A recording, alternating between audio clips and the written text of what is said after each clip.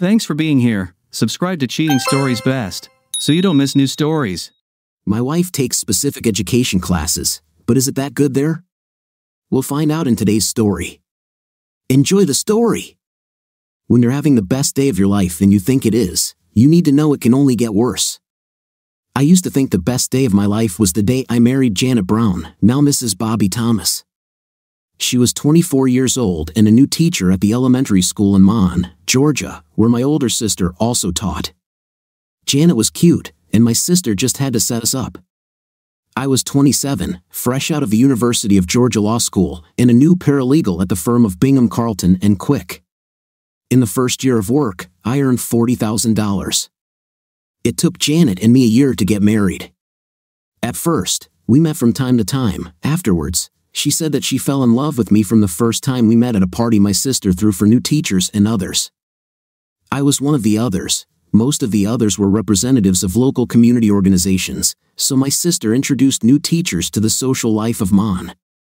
I grew up here and knew almost everyone, obviously. I didn't need that kind of dating, but Frankie, my sister, thought I needed to meet the right girls. Janet grew up in southern Georgia, attended UG on a partial scholarship, and was excited to move to Macon to begin her teaching career, and I was glad to introduce her to Macon. As our dates got longer, we went from kissing a little to a lot, as usual, to Bobby, honey, I'm sorry, but I'm just uncomfortable. I mean, I like it and all, but it will lead to more, and then you know, to even more. And, I've got to tell you, when I get married, I'll be one of those girls who walks down the aisle clean and an immaculate ideal bride for her husband. Wow, I replied, you must have rehearsed this at least several times and maybe used it on a few guys. I wasn't really trying to insult her, but that's exactly what she thought. We were in my apartment, and she jumped up, said something about my bad intentions, and left. I sat waiting for her to return. I picked her up from her apartment, which she shared with two other girls, and we went out to dinner. I wondered how she was going to get home. I later learned from my sister, Frankie, of course, that Janet had called her. Frankie picked her up, and they went to drink coffee and chat with the girls. The next morning, Frankie called me to calm my feelings, as only a sister can, that Janet was worried about me. Very worried, but she was completely inexperienced, and under no circumstances should I rush with her. Hello, Janet. I answered the phone the next day. Janet, it's me, Bobby. I'm calling to apologize for my comment last night. You were honest with me, but I said it without thinking about how important your words are. You mean a lot to me, and I hope you forgive me. I didn't really care much about untouchable or purity or anything like that, but I really liked Janet and thought we could have a future together, and we really did, a joint future. I mean, six months later, she walked down the aisle in a small church in South Georgia, and we were married in a very traditional ceremony. She did indeed turn out to be pure, but we made amends for that on the first night of our honeymoon at the Amelia Island Resort. Intim with Janet became enjoyable but was a little difficult at first. She was untouchable that first night, blood and all, and intercourse was not comfortable for her, and I admit that I made things even worse. By that time, I had not had a night for a long time, and after I penetrated her, my constant stroking, which did not last long that first night, irritated her even more. She cried, and I tried to console her, promising that everything would work out. She said that she knew about this, her mother warned her. We finally fell asleep and were cuddling with each other, so that was a good sign. The next morning, Janet surprised me. Although she was untouchable, she acquired some other skills in dealing with the men she dated. She woke me up with pleasure below the belt, which remained the best in my life, and mind you, no hands, she said. When I had recovered enough to look at her, impressive. That morning, we went to the beach and returned to our room and took a shower together. I promised her that there would be no more pain and that perhaps she would enjoy it. When we returned to bed, we kissed a little, and I moved lower to enjoy her chest. I think she might be content with just playing with her chest, but I had other plans. I moved further down, and she grabbed my head as if wanting to stop me. It's okay, I said, it doesn't hurt. What do you, oh, no, no, I don't want to, she began. As soon as I reached her bud, at that moment, I had never seen her up close, and I liked what I saw. Everything she tried to say turned into a noise. Janet went into the bathroom to clean herself up a bit, and I lay there feeling quite pleased with myself. No one has ever done this to me before, she said. It was much better than last night. We need to work on both, I replied. Night can be better if we do it right. Last night was our first, so we need a lot of practice to get it right. Last night was painful for you, we'll wait another day or so and try again. I'll take it very slowly and guarantee it will be much, much better. And so it was. We were both patient, and the intim really got better. Bobby, you know I love you, but when we got married, I didn't know how much I could love you. You make me glow from within, you make me enjoy life, she said, crying. Hey, hey, calm down. I don't think I'll cry, but you know that I love you too, and I like having night with you. Over the years, we always went to bed together, even on the nights when we didn't have anything. Even on the nights when I was overwhelmed with work at the law firm, or Janet was overwhelmed with papers to grade or lesson plans to prepare for. Sometimes one of us would get up in the middle of the night or early in the morning to do paperwork, but going to bed together was a non negotiable condition for us. This meant that we cuddled every night, had intim often, and remained connected to each other until lustful cockroaches settled in her head. We had been married for less than six years when I had what I considered the best day of my life. Not many flights fly into the small Macon airport, although the huge Atlanta airport is only 90 minutes away in Nashville. I dealt with a retired hardware store owner in Macon. He wanted to make sure that ownership would pass solely to one of his children. We worked things out. He signed a few papers and was happy, and I was happy to find a direct flight from Nashville to Macon. On this flight, I met the man who made the best day of my life possible. John Thompson is a shopping center developer in Nashville. His niche is small towns that he believes are underserved in terms of retail opportunities but have great potential for growth. He identified Macon as one of those cities and flew there to look at possible locations for shopping centers. At the time, I was a senior associate in my law firm, but the partnership was still a few years away. It so happened that I sat next to John and spent the entire flight pitching my law firm as the best in Macon and myself as the best lawyer for shopping mall development deals. Truth be told, I'd never done a deal like this in my life, but you know, fake it till you make it, so I did. John was impressed either by the skills I was presenting or maybe just by my bravado. Anyway, he hired me. More precisely, he hired my law firm. Over the next two years, we identified the best site, formed a new LLC for John to acquire the site, negotiated with potential investors, negotiated capital and debt. Deals to finance the project, negotiated pre lease agreements for leading retailers, and on and on, things like that. The deal took on a life of its own, and since John was mostly in Nashville or somewhere else, that life became more and more dependent on me. I liked it. I admit that all this work has affected my personal life. I had less time for my relationship with Janet, especially for those moments that mean nothing in the moment but are overall meaningful. Sitting on the couch in each other's arms and watching a stupid movie, going for ice cream at Dairy Queen, those moments that strengthen and cement relationships. I managed to maintain our commitment to always going to bed together, and I think that was incredibly important for us. But often I would get up at 4 o'clock or 5 o'clock in the morning to work on spreadsheets or contract issues or any other pressing issue. Finally, on Thursday morning, we closed a large loan, and my firm received the largest fee in its history. Jack Carlton, the firm's managing partner, called me into his office, where he and two other partners opened a bottle of champagne. He handed me the glass. Bobby, when you started working with John Thompson two years ago, we, pointing to his partners, had some concerns that you were not suitable for the job. Too young, not experienced enough, not serious enough, if you know what I mean. I was silent. He wouldn't have handed me a glass of champagne if the news had been bad. But you did a damn good job, maybe better than any of us could have done, he pointed to his partners again. You gave your all to this project, impressed everyone you worked with, and frankly made us a ton of money. A few minutes ago, before opening the champagne, we held a quick meeting of partners and voted on two things. First, an immediate bonus of $100,000 as compensation for what you did, and secondly, for offering to join us as a partner from the date of the contract. In recognition of the kind of lawyer you have become and the kind of lawyer we want to work with for decades to come. I confess I didn't expect either one, That is, I knew that they would give me a big bonus, but $100,000, and more importantly, a partnership. I stood there stunned. Bobby, have some champagne and say something, Mr. Cassette with a smile. I think they all realized that I was overwhelmed. Mr. Quick, I, no, no, no, he interrupted me. As partners, we all call each other by name here.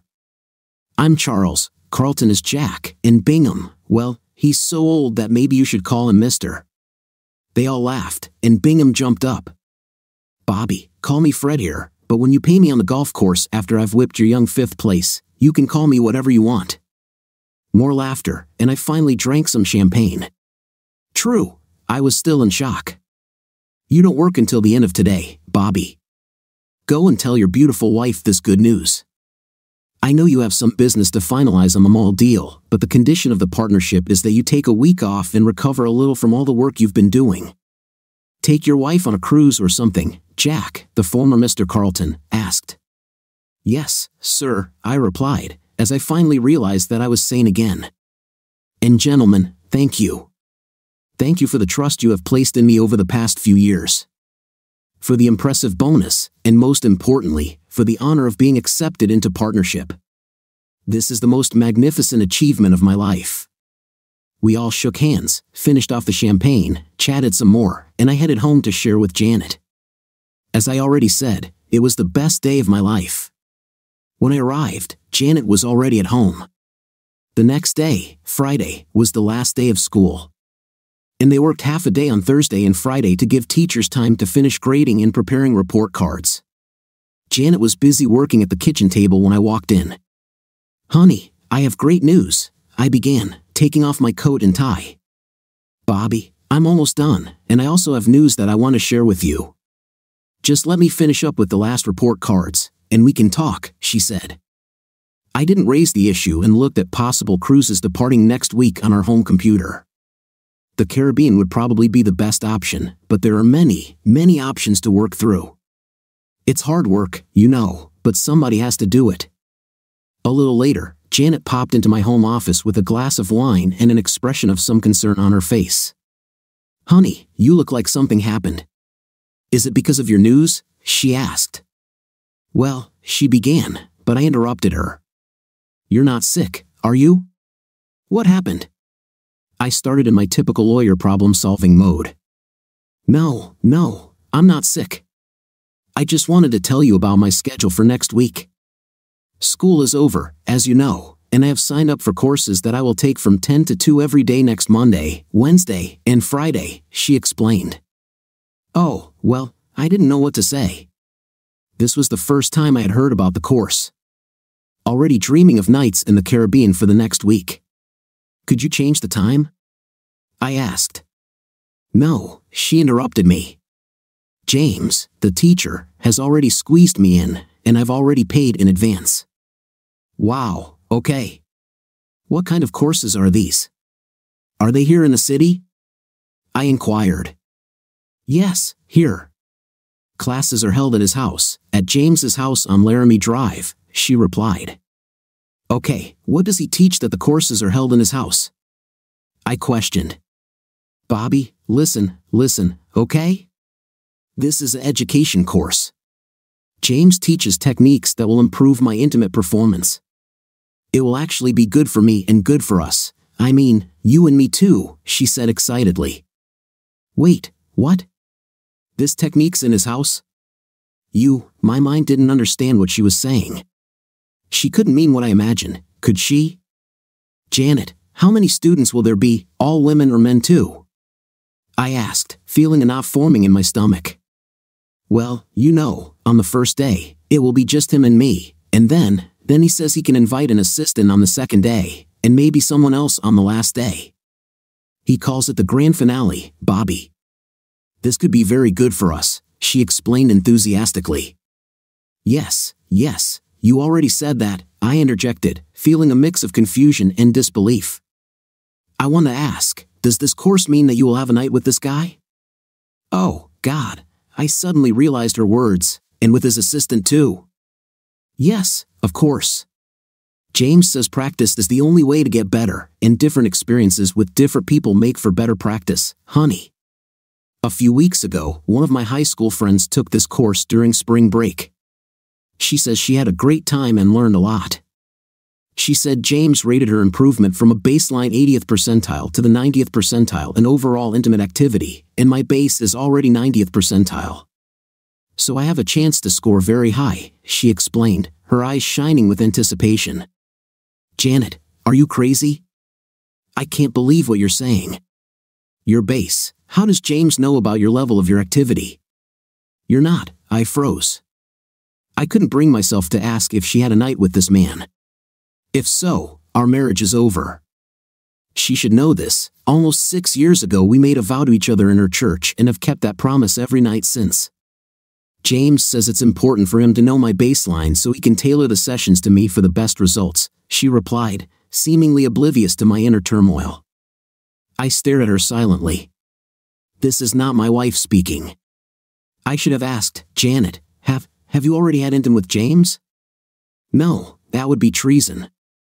I should only have a part of the course, you know, this is just education, she replied confidently. Then how does James know what your baseline level of intimate activity is? I demanded, my voice rising with frustration. Well, I gave him pleasure below the belt. I thought it was quick, but he said it was really great, and then he spent a few minutes assessing my reaction to stimulation. Really, Bobby, it was just to prepare for class. Lustful cockroaches. I thought my wife is amazed by lustful cockroaches, and now it is controlled by some non existent being who has no idea about our obligations to each other. Okay, okay, I know this all sounds like crap, but still, wait, wait, Janet, you said James would have several assistants for the grand finale. What does it mean, several partners at the same time? Oh, I don't know. It depends on how I spend the first two days of classes, Janet replied. James said my high baseline meant I could do well. And, Bobby, my high baseline must be due to the intimu and I have been having since we got married. We should be proud that my result is so high without any special preparation. James says, Janet, listen to me, please. First of all, I don't want to hear that name anymore. He's destroying our marriage. Well, actually, you're ruining our marriage. I asked you when we first started talking if you were sure. You said no, but I think you must be sick. I mean, Janet, my wife, the woman I've loved for over six years, can't plan to have intimate next week with multiple men, can't talk with a calm face about what she's already done with another man. Janet, now you're asking for a divorce. You know this, right? Bobby, listen to me, okay? James, okay, okay, uh, I won't say his name anymore. The teacher said that you might react like that and suggested that I not even tell you about this course. But you and I have always been honest and open with each other, so I decided it was better to share with you. Look at this course like one of your legal education courses, accept this education, and I think I'll learn a lot more practical things than you learn in your law courses, she explained. I looked at her like she was crazy. Lustful cockroaches, I thought again. I mean, how can a wife, how can my Janet, how can she, oh, damn, one more thought.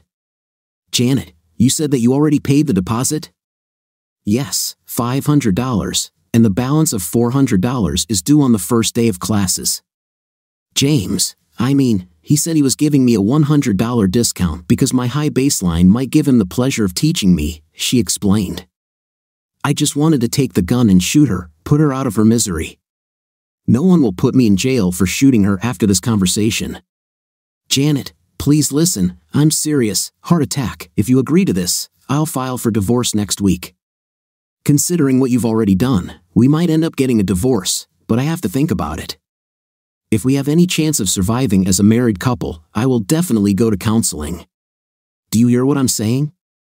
Bobby, I can hear you, but I don't think you can hear me.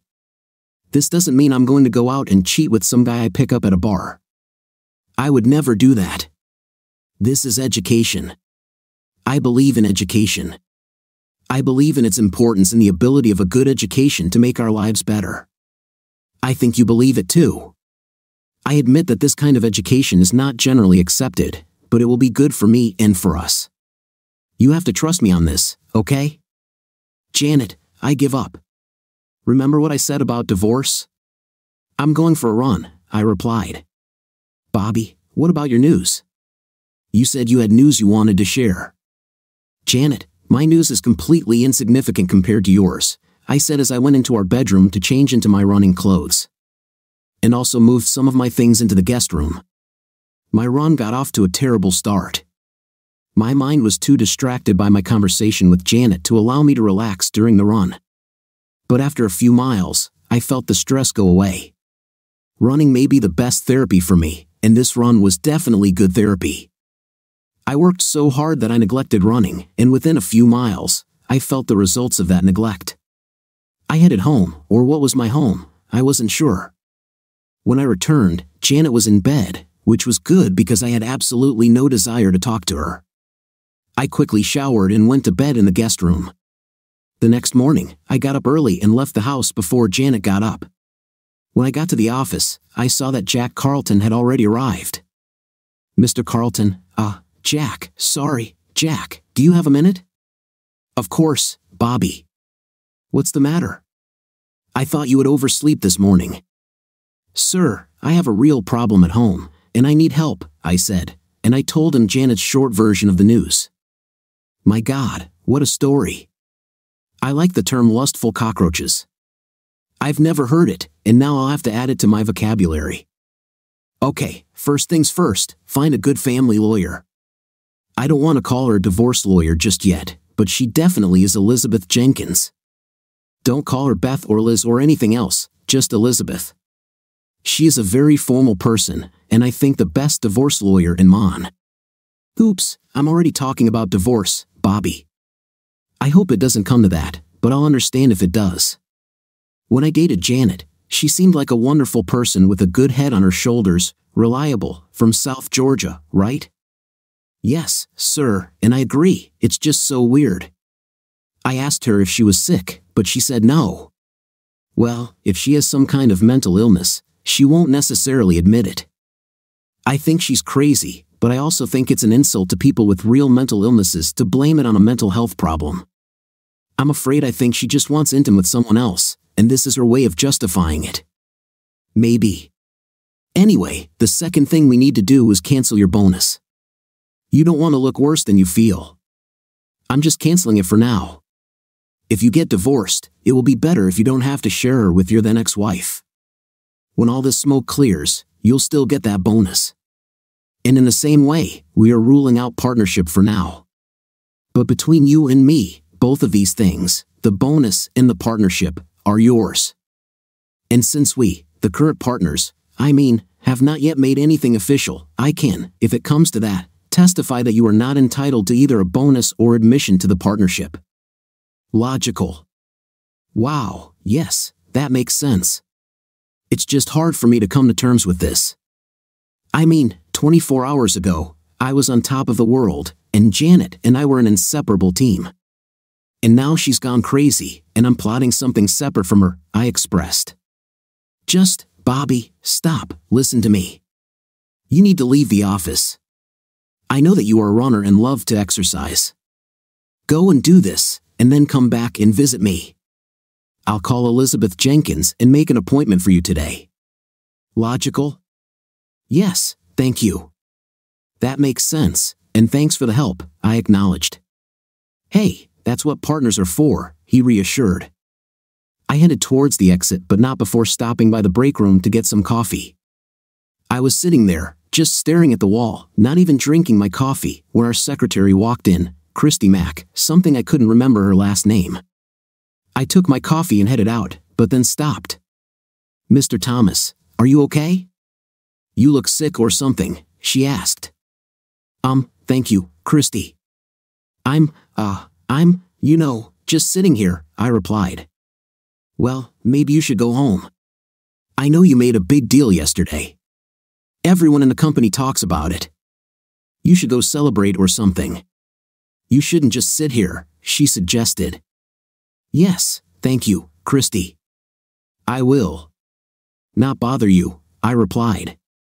I stood up and headed towards the exit just as she said, Sorry, don't bother me. It didn't mean anything. I actually went out for a second run, short and not at all satisfactory. Back at our office building, which has a gym and showers, I worked out some more until it was time to go see Elizabeth. I showered and arrived at her office in time to make it to my 4 p.m. meeting. Bobby, I'm sure it's okay to call you Bobby, she began. Right after all, Jack Carlton said you were his friend, which means you were my friend. He said a lot of good things about you, but he also said that your wife was struck by lusty cockroaches. She put air quotes around the term, and we both laughed a little. God, it's good that I can laugh. Yes, that's what I told him, I replied. And I told the story again. Elizabeth listened, took notes, made sympathetic sounds, and did not interrupt my sad story. I ended up like this, to tell the truth. She seemed to have gone crazy. Her insistence on having intimate with multiple men in the next week goes against everything she and I have believed since we met almost seven years ago. I'm almost at my limit just trying to comprehend this. Okay, that's why I'm here. To help you understand and make some plans to deal with her plans. She plans to start this education course on Monday, right? Elizabeth asked, air quoting again, but this time without laughter. Right. So, you have the weekend for her to change her mind? I responded. Yes, but wait, listen, let me finish. I think you should give her a chance. I also think I should prepare a divorce petition to file on Monday afternoon if she continues this idiocy. If she does back down, I recommend you both get some serious marriage counseling if, and I know this is a big if, you want to try to stay with her. I can prepare a fairly standard divorce petition this afternoon. Financial issues will be determined later. If necessary, we can hire a private investigator to follow her on Monday, or you can do it. If you decide to do this, you must assure me that you will not do anything that could jeopardize your law license or land you in jail. If she agrees to this, I can ask to be served in a house where adultery occurs, which is exactly what it is. If we are lucky, the course may be interrupted, Elizabeth explained, air quoting again. And one more idea, she paid James a $500 deposit. We can argue that this payment makes him a prostitute, and she is paying for night. Both are crimes in Georgia, so she could end up in prison. Most likely, no. Income crimes are usually just fines anyway. Would you like me to prepare a petition in case you need it on Monday? Yes, please. Just email it to my work account, and I'll take a look at it over the weekend. I accepted. Accepted, and good luck this weekend. Maybe her head will fall back into place, not finding a better place, Elizabeth concluded. I went to my office. I don't really like to drink, and the thought of going to a bar, especially on a Friday afternoon, doesn't appeal to me. But the thought of returning home is even less attractive. I walked into an almost empty office. At first, I thought that even the secretary had left, but she ran out when she heard the bell ringing from the arriving guest. Mr. Thomas, um, are you feeling better? You, oh wow, maybe none of my business, but you look worse than you did this morning. Have you seen a doctor, Krista? Where is everyone? It looks like the office is closed. Well, Mr. Carlton announced that everyone has been working very hard the last few weeks, and someone, namely you, Mr. Thomas, has just closed a large deal for one of the firm's best clients. So, he said that by the end of the day, everyone can relax. I'll just clean up a little myself and then go home. That's nice of him. Krista, could you do one more thing before you leave? I would like a fresh cup of coffee, and this machine always puzzles me. With pleasure. I'll be back with a fresh cup. Now, Black, right? Yes, thanks a lot. A few minutes later, she returned to my office with a steaming cup. After a day of work, I needed something to cheer me up.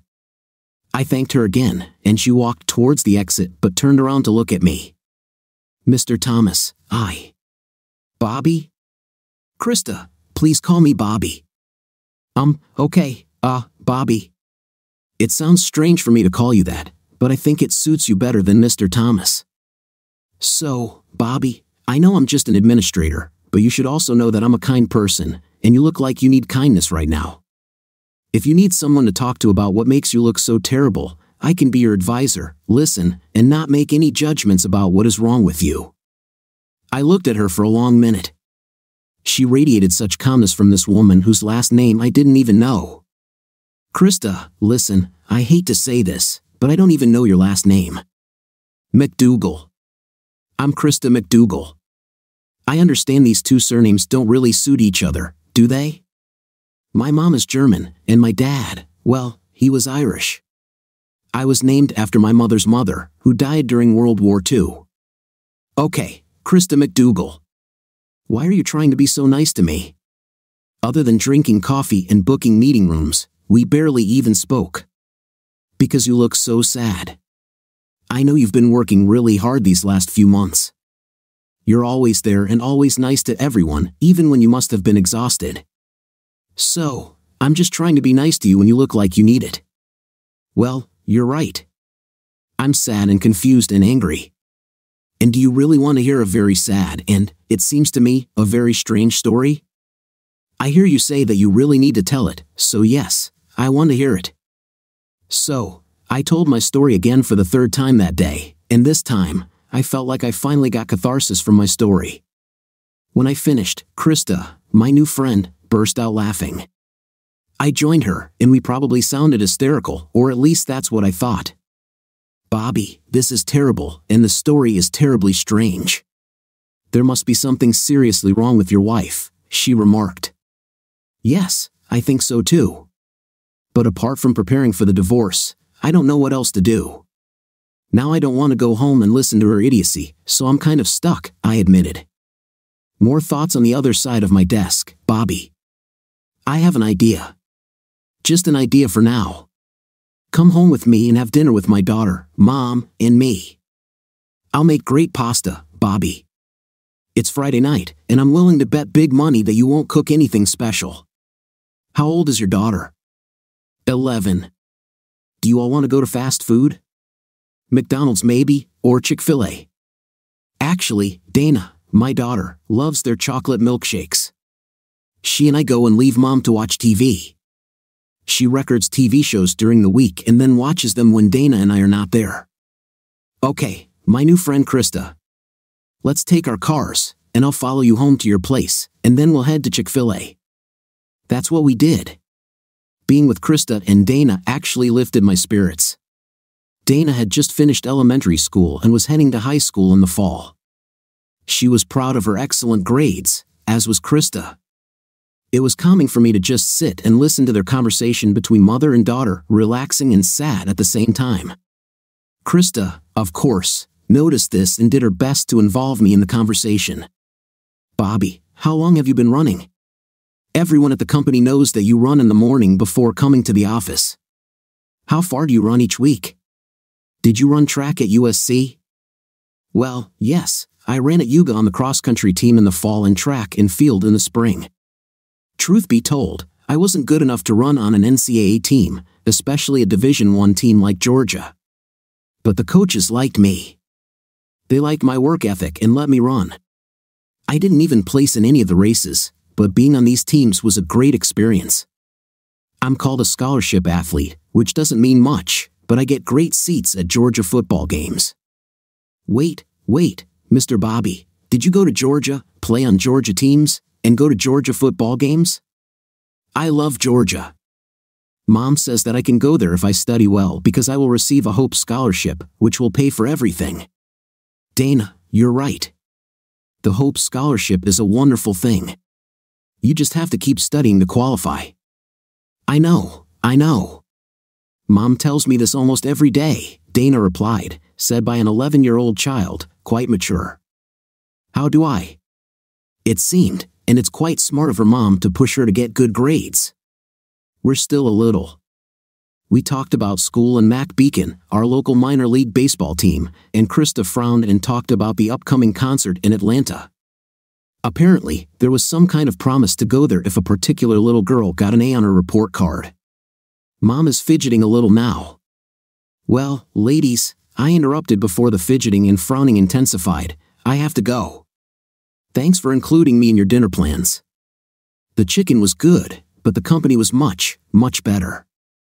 You two have made my day so much better, and I thank you for that. Dana, it was nice meeting you. Krista McDougal, I'll see you on Monday.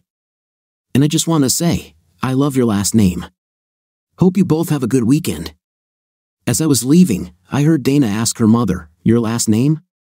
What is he talking about, Mom? That made me chuckle. However, the grin disappeared when I returned home. Janet was waiting there, ready to nag me for not coming home at the appointed time. I got ahead of her, I said, entering the house. Janet, don't even start. I needed to be with myself. Unless you're ready to tell me you've canceled your plans to cheat next week, I don't even want to be in the same room with you. Well, Bobby, I think I have some good news that you would have known about by now if you had come home at a decent hour. Okay, she was starting to dig herself in, but I was interested in hearing what good news she might have, so I asked her to continue. I talked to James today. I mean, I talked to the teacher, and I told him that you were very upset about the course next week. Tell me straight, that next week you will have intim with another man, I chimed in with my own dig. God, Bobby, please. You have one opinion, and I have another. But I really love you, and I want to do what's best for us. So, the teacher and I came to a compromise. He keeps the deposit for himself, and I go to class on the first day. At the end of the day, he and I decide whether I will come to class again. If one of us, he or I, considers that additional lessons will not bring me any benefit, I will not pay him the remaining money and will not come for further lessons. Isn't that a compromise you can live with? Janet, I think this whole idea is just an excuse for you to have a night with another man and even pay for it.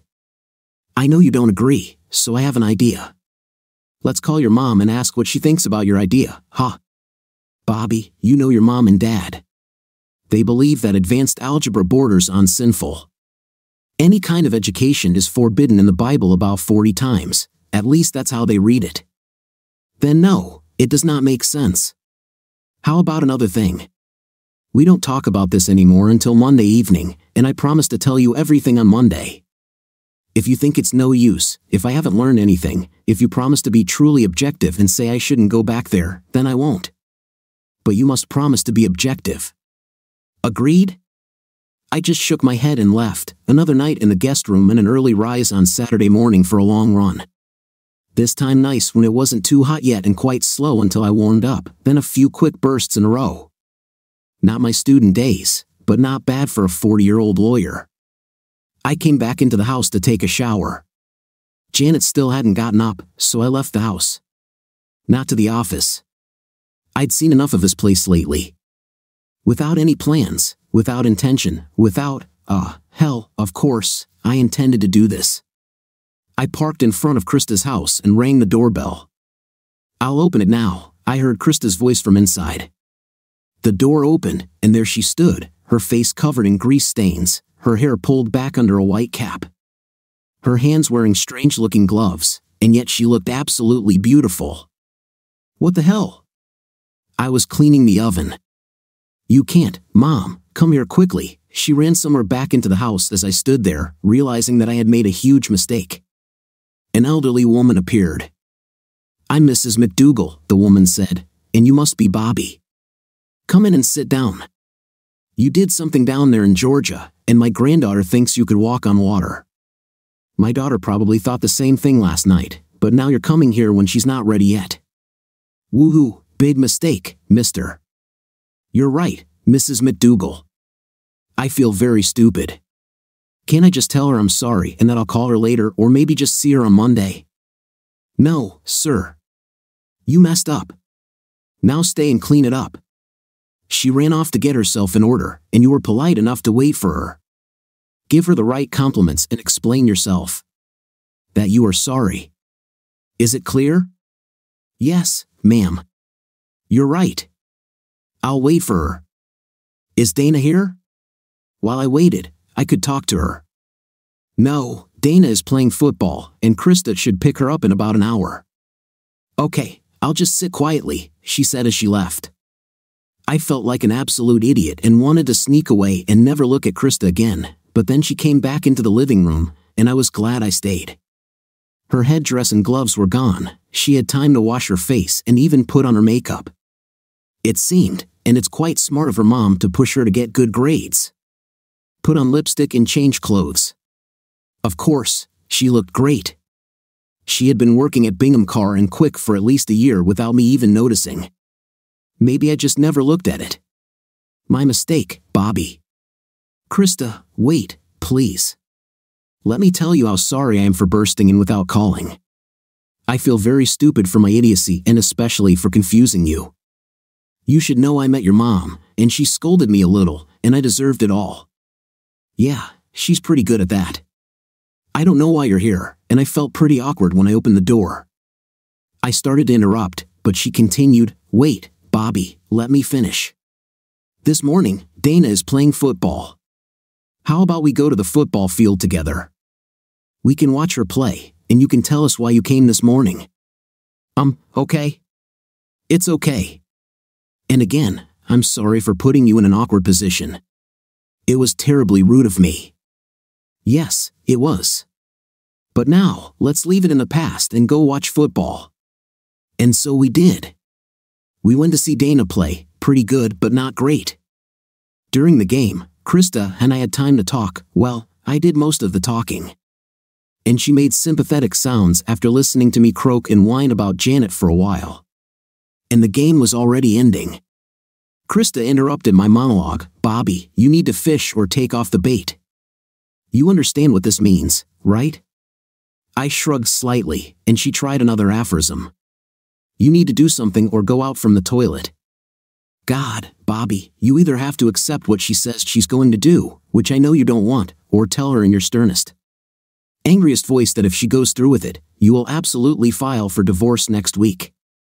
And you have to make her believe it. That's how our conversation ended. Dana came running with the joyful glow of an 11 year old child who had won the game.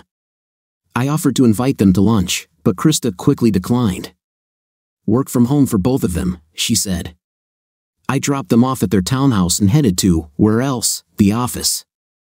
I couldn't face Janet. I'd already run out that day. I didn't want to call my friends, which would lead to awkward questions, and I didn't want to go to the bar. So I sat in my office and thought. A draft divorce petition arrived from Elizabeth by email. I looked it over, sent her a few nagging comments, and finally went home. Janet was preparing dinner when I walked in. She said hello and didn't talk about the elephant in the room, and neither did I. We had dinner together, talked politely about the weather and the school year in general, meaningless chatter. I cleaned up after dinner as she had prepared everything. When I finished, she was watching something on TV. I ignored her and headed to my office. Bobby, would you like to watch a movie on TV with me? No, Janet. We have a huge elephant in the room, and until we solve it, I'm not very comfortable sitting next to you. Next week, we will make a decision either you stop your plan to cheat, or if you go through with it, I will file for divorce. I went further to my office. Later, I went to bed again in the guest room. I didn't sleep very well, but that didn't surprise me. The next day, Sunday, I went to exercise and then had breakfast alone, not bothering Krista or wanting to see my wife that day. Luckily, Macon Bacon were playing at home that day, so I went to their game. They lost, but I had a good time immersing myself in the atmosphere of the game for a while. Eventually, the game ended, and I slowly, reluctantly headed home. I thought about staying at a motel, but I wanted to give Janet one last chance to save our marriage. No dinner together. I don't know if she ate at all. Finally, I made a sandwich and sat in my office until I was so tired that I went to bed. As I headed to the spare bedroom, Janet came up to me. Bobby, I just want you to know that tomorrow everything will be over. When you get home from work, we can sit down and talk. And you, not me, but you can decide whether I should come back for more instructions on Wednesday. Janet, we're just going in circles. Tomorrow, you will cheat on me, and for some reason, you don't see it. Your cheating will end our marriage, and you just don't see that either. Bobby, no. I promise you'll see tomorrow. Everything will be better. Crazy. Well, is she really mentally ill, or did she just go crazy because of some other man? Or amazed by real lustful cockroaches? Who the hell knows? I felt like she was driving me crazy. I didn't answer and went to bed. Monday began with a phone call to Elizabeth to ensure that Janet would be followed by a private investigator if she attended the instruction. I went to work but didn't expect to be able to do anything real. I sat at my desk, literally staring at my phone, waiting for a call from a private investigator. Just before noon, the phone did ring, but it was from Elizabeth, the divorce lawyer, not the private investigator. Bobby, a private investigator, called me a few minutes ago and said that he followed your wife to a house on Laramie Drive. She entered the house about an hour ago and still hasn't come out. This private investigator is also an employee of the court and will be able to serve her divorce papers in this house if you want me to tell him to do so. Elizabeth, thank you for your message. I simply have no choice. Please let him deliver the documents. Can a private investigator record this delivery? Well, I mean, I'd like to see her reaction if possible. I'm sure the private investigator has a video camera. I'll tell him to record it all, and I'll email it to you later today. Thank you, Elizabeth. Let me know when I owe you more for your fee or the private investigator's fee. Don't worry, take care of yourself now. Later that day, the video did arrive, attached to the email. Watching it on my laptop, I felt only sadness, no anger, but no tears either. The camera must have been attached to the private investigator's chest pocket. It all started when he knocked on the door. Finally, the door was opened by a tall, handsome, fit guy dressed in a robe and looking disheveled. What's the matter? The guy shouted to the private investigator. I need to talk to Mrs. Janet Thomas, he replied. What? There's no one here with that name. Listen carefully, answered the private detective. I am a sworn officer of the Superior Court of Monbib County, and I know that Mrs. Thomas is in this house. Inform her that she must appear before me or suffer the consequences. Wow, I thought. I have to admire him. Everything he says is absolutely true and completely meaningless, but the idiot who answered the door obviously doesn't know that. Okay, okay, wait a minute. I'll try to find her. He disappeared from the camera's view and returned to the house. Then, to my eternal sadness, Janet appeared at the door, also in a dressing gown and also disheveled. I'm Janet Thomas. Why are you looking for me? she said. Ma'am, can I see your documents? asked the private detective. Wait a minute, she disappeared into the house and reappeared a few minutes later. Here's my driver's license. Now tell me who you are and why you need me.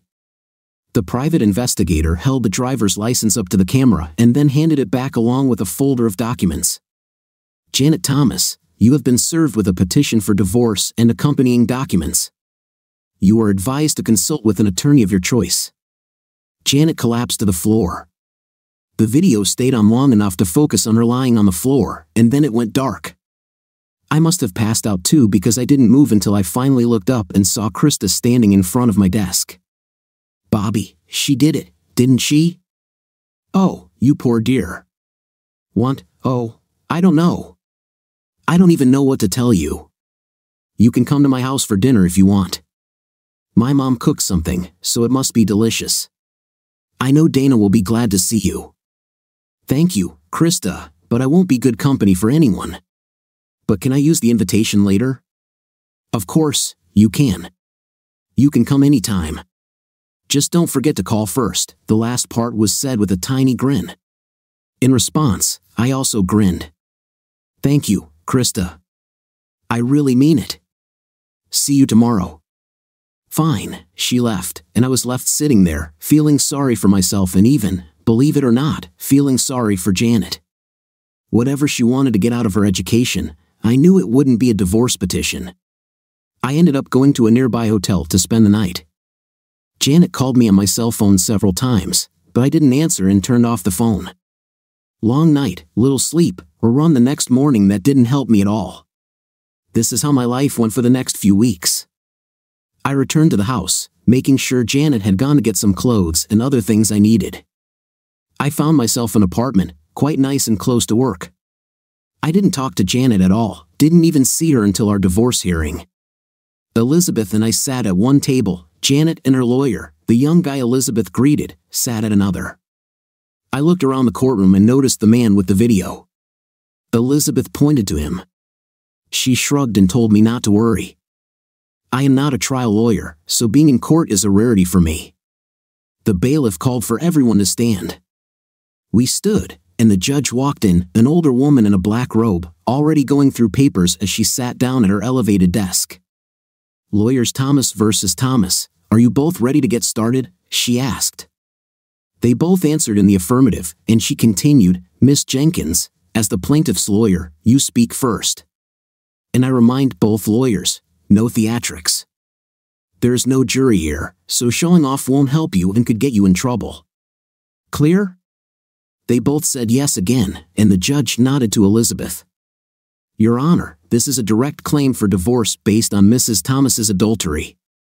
Mr. Thomas, my client, is not asking or offering any alimony. There are no children, the marital home is rented, savings will be split 50 50ths, and both parties will keep their retirement accounts. Everything is as stated in the statement of claim. She sat down, thank you, lawyer. Delightfully brief. I always appreciate this. Mr. Graham, as counsel for the defendant, do you have an answer? Yes, Your Honor. My client denies the charge of adultery, and we are prepared to present evidence that no adultery occurred, neither in the form and place alleged in the plaintiff's statement nor at any other time. What is your evidence? asked the judge. With your permission, Your Honor, I would like to call a witness. Of course, it should be interesting. Your Honor, I call James Power to testify. Of course, the guy with the video stood up and approached the dock. He was sworn in and sat in the witness chair. Janet's lawyer tried to portray him as an intimate education expert. Mr. Power, please tell the court about your relationship with Mrs. Janet Thomas. I was hired by Mrs. Thomas for educational purposes to conduct a short term course in techniques to improve her and her husband's responses to each other. Do you have the right to teach education courses? Yes, by the California Board of Intimate Education, from which I have a diploma. And do you charge for these courses? Yes, my standard fee is $1,000 for a three day course. In Mrs. Thomas's case, she told me that her husband objected to the course, so I adjusted the curriculum to start with only one day of instruction for her, $500 deposit. Did this one day of training include intimate contact? No, ma'am, Mrs. Thomas received the divorce petition before we even got to the actual intercourse. She was so upset by the divorce filing that we no longer met for additional training. Thank you, Mr. Power, I have no more questions. The judge turned to Elizabeth, Counselor, do you have any questions for this witness? Yes, Your Honor, several. Getting up, Elizabeth whispered to me, You might like it. Addressing the witness, she continued, Mr. Stringowitz, can I call you that since that's your real name, right? Ah, well, my name is Power, which is Stangowitz, which is the name I had when I was born, but I don't use it anymore. Did you stop using it because that name is on your arrest report? I object, Your Honor. Janet's lawyer jumped up and began to speak further, but the judge raised her hand. Miss Jenkins, I am inclined to agree with Mr. Graham. How might this be relevant? Your Honor, this is relevant in two respects. First, as you know, a criminal conviction affects the reliability of a witness's testimony. Second, Mr. Stringowitz's criminal conviction stems from an adultery charge. You can continue, but you should know that I doubt the appropriateness of this. Yes, ma'am, thank you. So, Mr. Stringwitz, please tell the court how many times and for what offenses you have been convicted, specifically in the state of California. Ah, ah, he looked at Janet's lawyer for help but was left alone. Well, ah, uh, it was, ah, uh, well, ah, uh, an accusation of receiving money for night, he finally whispered, as if that would help. Mr. Stringowitz, receiving money for intim in the state of California? Well, yes, but. And how many times have you been convicted, either pleading guilty or being found guilty, of pimping or similar charges of receiving money for night? Do you agree that this number is at least 24? Your Honor, the plaintiff's lawyer is nudging the witness. I objected. Mr. Graham, as you know, well, as you should know, the plaintiff's lawyer is cross examining your witness and has the right to ask leading questions. Carry on, Miss Jenkins. Thank you, Your Honor. So, Mr. Stringowitz, there are at least 24 convictions for money, is this right? Well, some of them were just. Please, Mr. Stringowitz, yes or no? Okay, then, yes, thank you. As for your certificate from the Council on Intim Education, how many hours of classroom training did you attend to obtain it?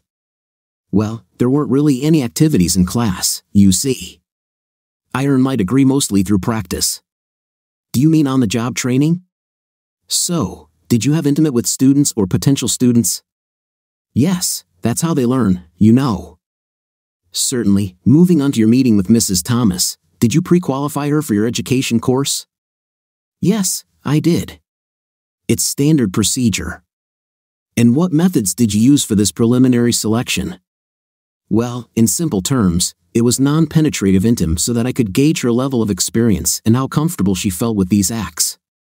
Thank you, Mr. Stringowitz. I hope you will allow me to briefly summarize Mr. Stringowitz's testimony. I think this will be helpful for both my client and the defendant. Go ahead, Miss Jenkins, thank you. Thank you, Your Honor. Mr. Thomas, Elizabeth said, turning to Janet and Mrs. Thomas. In his testimony, Mr. Stringwitz admits that he is a convicted man on charges of receiving money for night. With a meaningless diploma, to whom Mrs. Thomas paid $500 for a night under the guise of education. Unfortunately for Mrs. Thomas, despite the disguise. Intim for money in Georgia is still a crime for which Mr. Stringowitz can be arrested as the performer and Mrs. Thomas as his client. Adultery in Georgia does not have to involve what is called penetrative experience. In George's definition of adultery, intimate as Mr. Stringowitz described it certainly counts as intim. Therefore, I am afraid that Mrs. Thomas is, in fact, guilty of adultery. Your Honor, I have no further questions for this witness. Miss Jenkins, you have skillfully stated your position. Mr. Graham, do you have an answer for the accused? Your Honor, may we take a short break to consider Miss Jenkins's arguments? The judge actually called a break, and the hearing dragged on for some time, but Elizabeth clearly won. She later told me that it was quite easy to get information about Stringowitz. He got kicked out of California for running his scams on too many stupid women, especially married ones. Janet was one of many. Speaking of Janet, as we left the courtroom, I heard her complain to her lawyer, but I didn't even have a night with that guy. The divorce was granted on essentially the same terms that Elizabeth presented to the judge. Janet was never arrested for her role in the relationship with Stringowitz, but he was accused of receiving money for night and given the choice of leaving Georgia immediately or spending 90 days in the county jail. Of course, he decided to leave, probably hoping to find a better place for his scam. I later learned that he made the mistake of driving through the small town where Janet's family lived. I didn't hear whether he managed to get out of the city.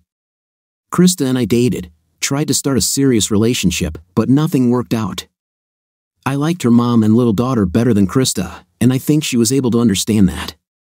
But we became friends, and we still remain so.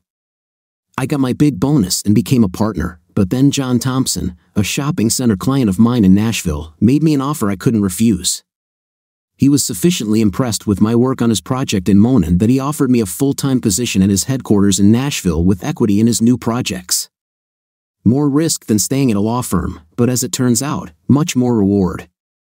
About a year after the divorce, I heard from Janet's mom. She got my number in Nashville from my old law firm and called to tell me Janet had died. After her divorce, she returned to southern Georgia and lived with her parents. She started having headaches, and when she went to the doctor, she was diagnosed with a huge brain tumor. A few weeks later, she died. A few months after I learned of Janet's death, I was in Tallahassee, Florida, exploring a potential location for a shopping center. I decided to stop by her family's small town and pay my respects at her grave. There, I found a tombstone. It looked like it had just been installed. On it were the dates of her birth and death, as well as the inscription, Janet Thomas, beloved daughter and loving wife. This made me retreat. I stood there, lost, remembering my time with Janet, so many good times and such a terrible ending. Could her madness be caused by a brain tumor? I think so, because brain tumors exist, but lustful cockroaches? No. I was ready to accept the inscription on the grave. After all, it had been true for almost our entire life together. I felt better. I began to feel better about myself and my future. What do you think of today's story? Was the wife's action right or wrong? Write your opinion in the comments. See you in the next video.